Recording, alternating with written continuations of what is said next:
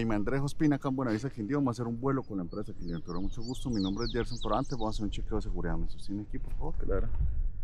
Uno,